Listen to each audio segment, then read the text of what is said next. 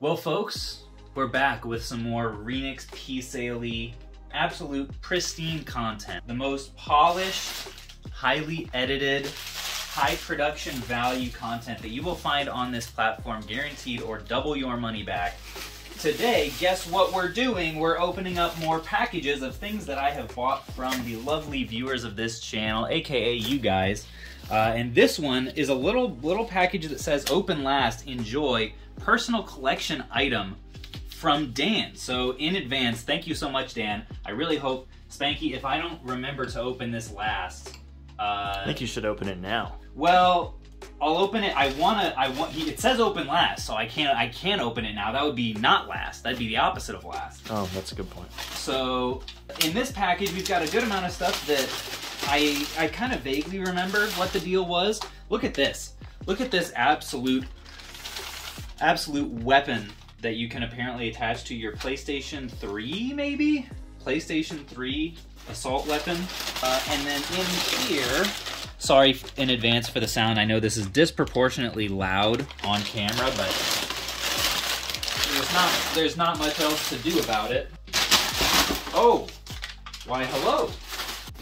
Look what just fell out of that little bundle. We've got some PS3 controllers and accessories. I know these were uh, tested on camera ahead of time. Normally, I do not like buying uh, these kinds of controllers.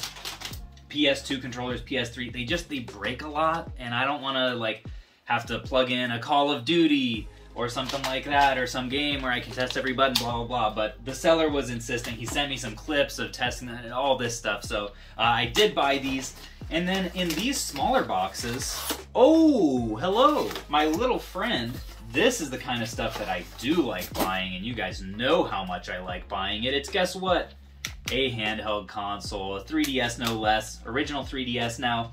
What isn't ideal about this is the scratching on top. That's not as much what I like to see because it makes me a little bit, eh, can I sell that in very good condition? I don't really know, but um, nonetheless, it's great to be able to buy handhelds. Uh, so thank you in advance.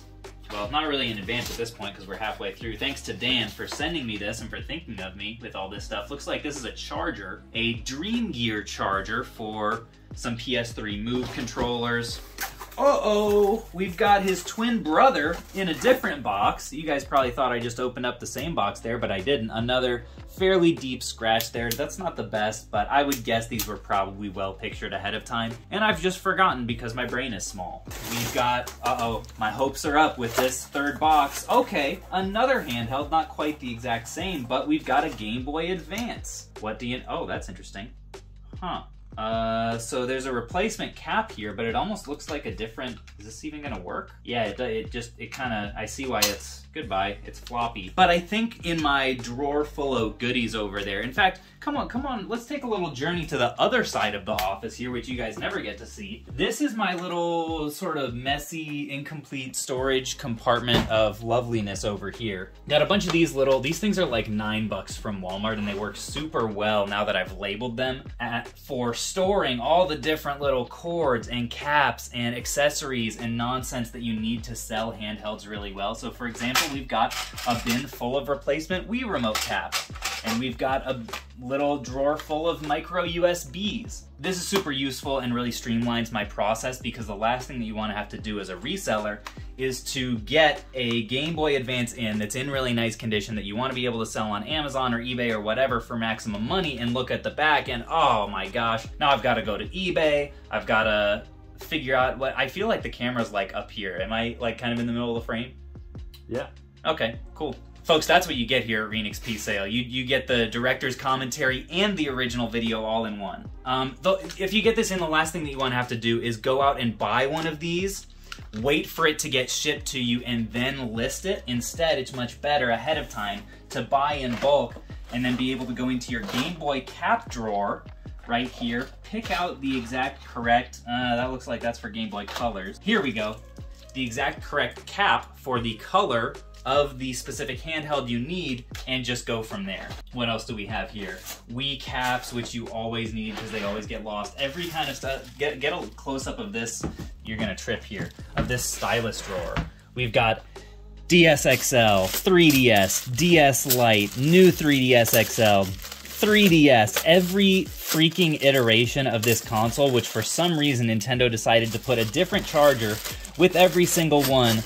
Uh, we've got them all in here and they're ready to go. Highly recommend that. Anyway, back over to our task at hand here. Should have actually just kept that and put it on. I don't know why I didn't. We've got a PS3 camera. These things have been doing well for me. And what looks like probably, probably the last thing. Oh, I see. Oh, and we've got some games as well. Look at that.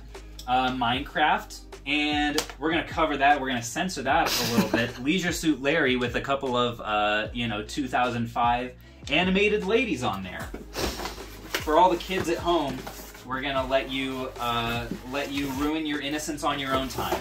We've also got a couple of PS3 Move controllers, which will fit very nicely into our dock that we just got, just like just like that. Would you look at that? It's like magic. And some navigation controllers as well. You guys know this is nothing new for you if you watch the channel. I buy these at video game stores all the time because they happen to do well for me on Amazon, and that's pretty much the end of that story. Except it's not the end of this package's story because we still have this little thing open last from Dan. So thanks again to Dan, and if you guys have any uh, stuff that you would like to sell, feel free to reach out in, via Instagram or email. Both of those should be in the description below. We've got, whoa, would you look at this? This big old, this looks like it would have been almost like in a magazine or something, of some sort of Metroid promotional, I don't really know.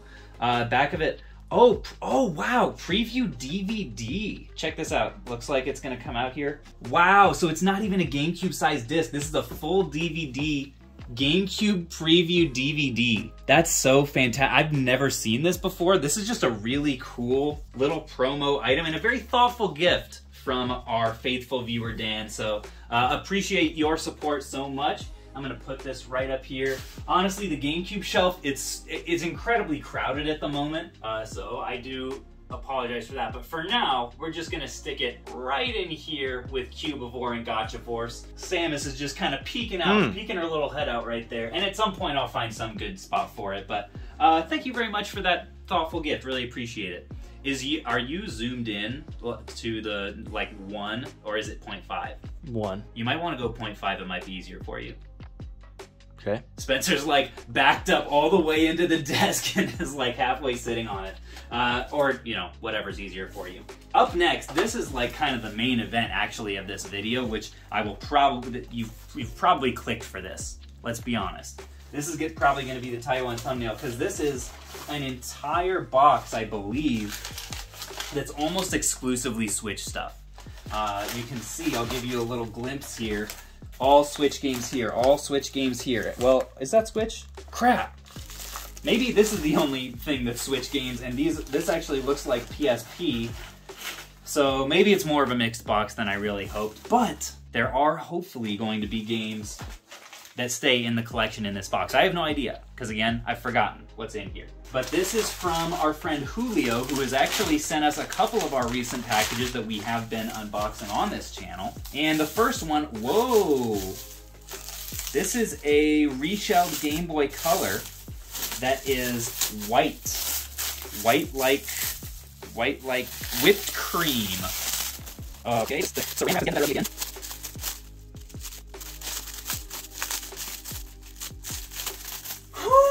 Here we go. This feels like a really nice reshell as well. And in the back, we've got a, uh, looks like definitely a reproduction of Zelda Oracle of Seasons. Uh, so I'll have to double check the invoice and make sure that that wasn't a part of the actual deal. But uh, the shell on this is looking really nice. Turn it on here. Oh yeah, there's no batteries in it. What did I think was gonna happen? So that's always great. Of course, we love handhelds of any shape and size. Then right here, we've got a big old stack of PSP games. We've got uh, Ratchet and Clank Size Matters. We've got uh, Ys 7, which I, I don't even recognize this game. I don't know if I've ever flipped this one before. That's really cool to see. You love seeing complete PSP stuff no matter what it is. Final Fantasy Tactics, uh, Final Fantasy, Final Fantasy 2, Final Fantasy Crisis Core, and Secret Agent Clank. So definitely, uh, this person, Julio, he knows what he likes when it comes to PSP games, and I respect that. Up next, we've got, ooh, what's the prediction here? Well, Nintendo DS would probably be the best prediction because we have a gold. So this is one thing I actually was inspecting uh, the handhelds from a recent video more closely, and I do believe that these, in fact, this in fact is not an original not an original Hyrule Edition DS Lite. Why do you say that, Caleb? It looks it looks very similar. Well, a few reasons. One is you can see by the buttons here, if you look closely there, I'm not sure if that's gonna come up on the camera there, Spanky, but there's a little, a, a little space between the buttons and the edge of the um, plastic there, which is a little bit of a giveaway. The font on them is actually a little bit different than you would normally see, and you can see they're a little bit wobbly too. Uh, the font on the start and select are a little bit different and there's a little bit of like a like an impression there that isn't normally there. They're also kind of wobbly. It's a bunch of small details. Another thing i noticed is there's a line in the middle of the stylus here that isn't normally there. So all these things as i was looking at it kind of started to add up and i was like man this just this looks like basically a reshell. I don't know if the innards of this are original or not, or if this is just like a total fabrication. I don't know. I don't think that Julio knew that uh, this was not an original. And see, here's another thing. You can actually see when you take out the the slot cap that there's some weird paint stuff on it, right? Like this little strip down here is gold and the rest of the the rest of it isn't, except for the top, which is actually the part that is showing. And then you can kind of see here where the paint, like the paint has gone into the crevice, but it hasn't reached the rest of the plastic down here. Just just a variety of slight wonkiness about this. Uh, so I reached out to him. I don't think he had any idea. So we're just adjusting the invoice accordingly. It also, another small sign, is that it has one of these like 501 micro SD card cartridge, like bootleg cartridges in here. Um, so this was likely just some sort of a mom and pop vendor that was selling these and maybe or maybe not was honest that they are fabrications rather than originals. Not a huge deal. I always assume the best when I'm buying from people, but also is the good, you know, a good thing to catch because a fabrication of this really isn't worth hardly anything. Like maybe a little bit, but um, it's not the kind of thing that I would sell with confidence because I don't know that the hardware in there is integral. Uh, so long story short, made some small adjustments on that invoice, not a huge deal, but kind of an interesting thing and something that might be helpful for you guys to be on the lookout for when you're making purchases, whether it's in person or online or whatever. Then here we've got a PSP, which I also will have to apply a similar level of scrutiny to whenever I do inspect it. Right now, Again, it's in multiple layers of saran wrap, so I'm not gonna bother with it. Uh, but I will bother with these good old Switch games because I'm very intrigued what we might find in here. Okay, so I'm seeing right off the bat, we've already got at least one limited run Switch game. Uh, so this first one, uh, the PAL version, Atelier Ryza 2, not really something that I'm super interested in, but also not a game that you find too much, so that's kind of cool. We got Miitopia, the looks like uh, Latin American version, which I believe should, yeah, there's even English on the back here, so I'm sure there's an English mode. The Switch is region free, so I know it can play it. Oh, this one I'm excited for. Yeah, this is exciting. Star Wars Jedi Knight 2 Jedi Outcast and Star Wars Jedi Knight Jedi Academy on the Switch, limited run, double pack. That's just, that's super cool. Absolutely the kind of thing that I will be keeping. Uh, very exciting. That's good. That's going to be like my favorite part of this whole thing. We've got, what is this? Wild at Heart. And on the cover, there's a, there's an arcade cabinet in the forest. I am very intrigued with that. It says, explore a mysterious world with your own herd of magical spritelings. Okay, well that's what the back looks like. I am just as intrigued as you are. I may end up popping this in tonight. Very interested in what this ends up being. We'll put that in the keep pile. SpongeBob Battle for Bikini Bottom Rehydrated. Oh yeah. I can't actually remember if I have this or not. Did you play this on the PS2? Um, yes. Had to remember there for a little bit.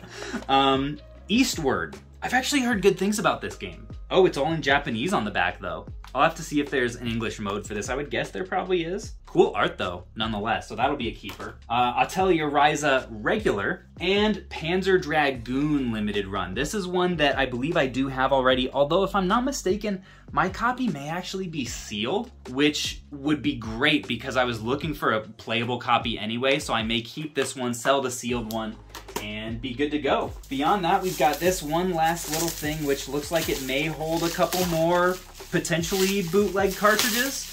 We will see for the uh, original Game Boy looks like.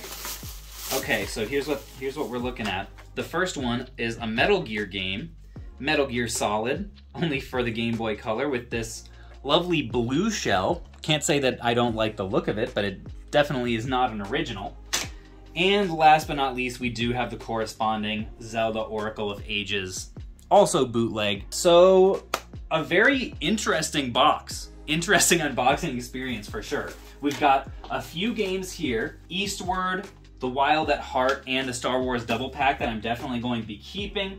We've got a couple games slash systems that we're to have to make invoice adjustments on and then a bunch of other just miscellaneous good stuff to throw on Amazon and flip and be happy. So, folks, I think I speak for Spanky and myself when I say you're welcome for this flawless level of entertainment, easily top tier of the entire platform. Call PewDiePie, call Mr. Beast, let him know. Phoenix Resale is here, and we will see you guys at some undetermined and infrequent interval, which uh, could be tomorrow, could be a week, could be three months from now before you see another one. That's part of the fun of the channel. Goodbye.